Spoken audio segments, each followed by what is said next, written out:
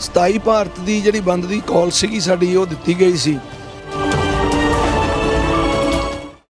Ajit web TV ਦੇ ਦਰਸ਼ਕਾਂ ਦਾ ਸਵਾਗਤ ਹੈ। ਮੈਂ ਹਰਪਿੰਦਰਪਾਲ ਸਿੰਘ ਡਿੰਪਲ। ਅਸੀਂ ਪਹੁੰਚੇ ਹਾਂ ਸਿੰਘੂ ਬਾਰਡਰ। ਸਿੰਘੂ ਬਾਰਡਰ ਤੇ ਅਸੀਂ ਕਿਸਾਨ ਆਗੂ ਮਨਜੀਤ ਰਾਏ ਜੀ ਨਾਲ ਗੱਲ ਕਰਾਂਗੇ।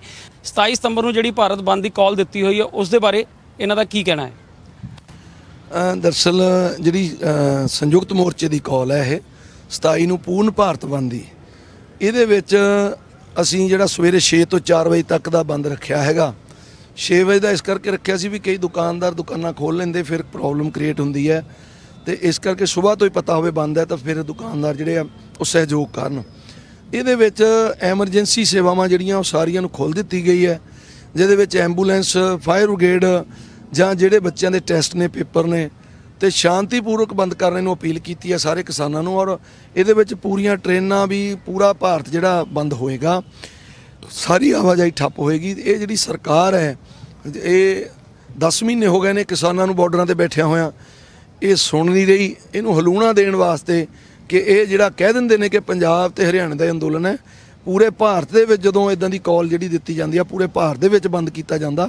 ਫਿਰ ਸਰਕਾਰ ਨੂੰ ਪਤਾ ਚੱਲਦਾ ਵੀ ਇਹ ਅੰਦੋਲਨ ਇਕੱਲੇ ਪੰਜਾਬ ਤੇ ਹਰਿਆਣੇ ਦਾ ਨਹੀਂ ਇਹ ਅੰਦੋਲਨ ਪੂਰੇ ਭਾਰਤ ਦਾ ਸੋ ਇਹ ਪੂਰਨ ਬੰਦ ਹੋਏਗਾ ਭਾਰਤ ਔਰ ਸਵੇਰ 6 ਤੋਂ 4 ਵਜੇ ਤੱਕ ਔਰ ਪੂਰੇ ਭਾਰਤ ਦੀਆਂ ਟ੍ਰੇਡ ਯੂਨੀਅਨ ਵੀ ਔਰ ਸਾਰੇ ਸੰਗਠਨ ਵੀ ਸਾਰੀਆਂ ਸਟੇਟਾਂ ਦੇ ਲੋਕ ਇਹਦੇ ਵਿੱਚ ਸਮਰਥਨ ਕਰ ਰਹੇ ਨੇ।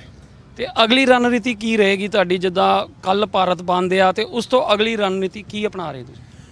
ਅਗਲੀ ਇਸ ਤਰ੍ਹਾਂ ਹੈਗੀ ਆ ਜੀ ਵੀ ਅ, 27 ਭਾਰਤ ਦੀ ਜਿਹੜੀ ਬੰਦ ਦੀ ਕਾਲ ਸੀਗੀ ਸਾਡੀ ਉਹ ਦਿੱਤੀ ਗਈ ਸੀ।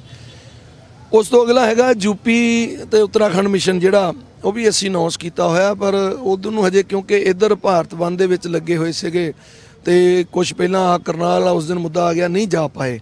ਹੁਣ ਜਿੰਨੀਆਂ ਉੱਥੇ ਮਹਾ ਪੰਚਾਇਤਾਂ ਹੋਣਗੀਆਂ ਯੂਪੀ ਦੇ ਵਿੱਚ, ਉੱਤਰਾਖੰਡ 'ਚ ਉੱਥੇ ਜਾਵਾਂਗੇ ਸਾਰੇ। ਤੇ ਉਹ ਮਿਸ਼ਨ ਨੂੰ ਵੀ ਸਕਸੈਸ ਕਰਾਂਗੇ, ਕਿਉਂਕਿ ਪ੍ਰਧਾਨ ਮੰਤਰੀ ਦੀ ਕੁਰਸੀ ਨੂੰ ਜਿਹੜਾ ਰਸਤਾ ਜਾਂਦਾ, ਉਹ ਯੂਪੀ ਹੋ ਕੇ ਜਾਂਦਾ। ਕਿਉਂਕਿ ਵੱਡੀਆਂ ਉੱਥੋਂ 80 ਸੀਟਾਂ ਨੇ ਐਮਪੀ ਦੀਆਂ। ਤੇ ਉੱਥੇ ਕੋਸ਼ਿਸ਼ ਕਰਾਂਗੇ ਕਿ ਬੀਜੇਪੀ ਦੀ ਜਿਹੜੀ ਇਹ ਸਾਡੀ ਜ਼ਮੀਨ ਖੋਣਾ ਚਾਹੁੰਦੇ ਨੇ, ਅਸੀਂ ਇਹਨਾਂ ਦੀ ਰਾਜਨੀਤਿਕ ਜ਼ਮੀਨ ਖੋਵਾਂ। ਸਾਡੀ ਤਾਂ ਇਹ ਜਿਹੜਾ ਸਾਡਾ ਢਿੱਡ ਪਾਲਣੇ, ਅਨਾਜ ਪੈਦਾ ਕਰਦੇ ਆ, ਉਹ ਜ਼ਮੀਨ ਖੋਂਦੇ ਨੇ। ਪਰ ਅਸੀਂ ਕੋਈ ਰਾਜਨੀਤੀ ਨਹੀਂ ਕਰਨੀ, ਕੇਵਲ ਇਹਨਾਂ ਦੀ ਰਾਜਨੀਤਿਕ ਜ਼ਮੀਨ ਇਸ ਕਰਕੇ ਕਿੰਨੇ ਖੋਵਾਂਗੇ ਵੀ ਭਾਈ ਜੇ ਤੁਸੀਂ ਨਹੀਂ ਮੰਨਣਾ ਤਾਂ ਫਿਰ ਤੁਹਾਡੀ ਭਾਰਤ ਦੇ ਵਿੱਚ ਕਿਤੇ ਲੋੜ ਨਹੀਂ ਹੈ। ਜੇ ਤੁਸੀਂ ਭਾਰਤ ਦੇ ਦੇਸ਼ ਦੇ ਲੋਕਾਂ ਦੀ, ਕਿਸਾਨਾਂ ਦੀ, ਮਜ਼ਦੂਰਾਂ ਦੀ, ਆਮ ਵਰਗ ਦੀ ਆਵਾਜ਼ ਨਹੀਂ ਸੁਣਨੀ, ਤੁਹਾਡੀ ਇੱਥੇ ਕੋਈ ਜ਼ਰੂਰਤ ਨਹੀਂ ਹੈ। ਤੇ ਤੁਸੀਂ ਇਹਨਾਂ ਤੋਂ ਸੱਤਾ ਤੇ ਤੁਸੀਂ ਨਹੀਂ ਰਹਿ ਸਕਦੇ। ਉਹ ਮਿਸ਼ਨ। ਔਰ ਸੈਕੰਡ ਅਸੀਂ ਆਪਣੀ ਸੰਯੁਕਤ ਦੀ ਕਾਲ ਜਿਹੜੀ ਸੌਰੀ ਮੀਟਿੰਗ ਕਰਦੇ ਹਾਂ, ਉਹਦੀ ਹੁਣ ਮੀਟਿੰਗ ਬੁਲਾਵਾਂਗੇ 27 ਤੋਂ ਬਾਅਦ ਵਿਹਲੇ ਹੋ ਕੇ ਕਿ ਅਗਲੀ ਜਿਹੜੀ ਕਾਲ ਹੈ ਉਹ ਕਿਹੜੀ ਦੇਣੀ ਹੈ, ਅਗਲੀ ਰਣਨੀਤੀ ਕੀ ਤੈਅ ਹੋਣੀ ਹੈ। ਉਹ ਰਣਨੀਤੀ ਜੋ ਤੈਅ ਕਰਾਂਗੇ ਫਿਰ ਸੰਯੋਗ ਦੇ ਵਿੱਚ, ਕਿਉਂਕਿ ਮੈਂ ਇਕੱਲਿਆਂ ਨਹੀਂ ਕੋਈ ਵੀ ਦੱਸ ਸਕਦਾ, ਭਾਵਨਾਵਾਂ ਕਈ ਹੁੰਦੀਆਂ ਨੇ। ਮੇਰੀ ਭਾਵਨਾ ਤਾਂ ਇਹ ਵੀ ਹੈ ਕਿ ਅਸੀਂ 5-4 ਦਿਨ ਲਈ ਪੂਰਾ ਕੇਐਮਪੀ ਬੰਦ ਕਰ ਦਈਏ, ਦਿੱਲੀ ਦਾ ਘਰਾਓ ਕਰੀਏ ਪੂਰਾ। ਪਰ ਆਪਣੀ ਆਪਣੀ ਭਾਵਨਾ ਨਹੀਂ ਹੁੰਦੀ ਸੰਯੋਗ ਦੇ ਵਿੱਚ ਸਾਰਿਆਂ ਦੀ ਗੱਲ ਸੁਣ ਕੇ ਵਿਚਾਰ ਕੇ ਉੱਤੇ ਫੈਸਲਾ ਲਿਆ ਜਾਂਦਾ ਆਪੋ ਆਪਣੀ ਸਾਰੇ ਗੱਲ ਰੱਖਦੇ ਆ ਉਹ ਚ ਅਸੀਂ ਗੱਲ ਰੱਖਾਂਗੇ ਆਪਣੀ ਤੇ ਸਰਕਾਰ ਨੂੰ ਅਗਰ ਸ਼ੇਕ ਲਾਉਣਾ ਤਾਂ ਫਿਰ ਕੋਈ ਨਾ ਕੋਈ ਹੋਰ ਰਸਤਾ ਵੀ ਅਪਣਾਉਣਾ ਪਊ ਤੇ ਕੋਈ ਕਾਲ ਵੱਡੀ ਦੇਣੀ ਪਊ। ਪਰ ਫੈਸਲਾ ਸੰਯੁਕਤ ਦਾ ਹੋਣਾ ਲਾਸਟ ਜੋ ਸੰਯੁਕਤ ਫੈਸਲਾ ਕਰੇਗਾ ਉਹ ਰਣਨੀਤੀ ਜੋ ਤੈਅ ਕਰੇਗਾ ਉਹ ਫਿਰ ਦੱਸ ਦਿੱਤੀ ਜਾਏਗੀ। ਧੰਨਵਾਦ ਰਾਏ ਸਾਹਿਬ ਤੁਹਾਡਾ ਬਹੁਤ ਤੁਹਾਡਾ ਬਹੁਤ ਬਹੁਤ ਧੰਨਵਾਦ ਜੀ ਜੀ ਦਾ ਸਮਾਚਾਰ ਬਹੁਤ ਬਹੁਤ ਧੰਨਵਾਦ।